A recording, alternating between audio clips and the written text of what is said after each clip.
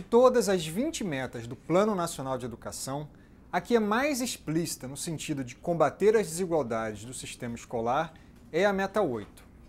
É uma meta importantíssima, fundamental.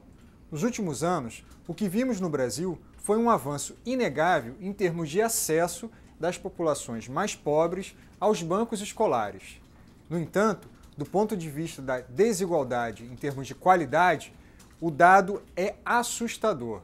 É muito preocupante perceber que as escolas que os alunos mais pobres frequentam no Brasil são também as escolas com piores condições de infraestrutura, piores professores, com menor tempo de aula, enfim, estamos dando para os mais pobres uma escola também mais pobre. Isso parece ser natural, as pessoas tratam isso no Brasil com uma naturalidade assustadora. Não pode ser assim. Temos que nos indignar porque justamente é necessário corrigir as desigualdades que os alunos já trazem de casa justamente pela escola. E para isso é preciso dar recursos, apoio e os melhores professores possíveis para esses alunos em situações mais vulneráveis.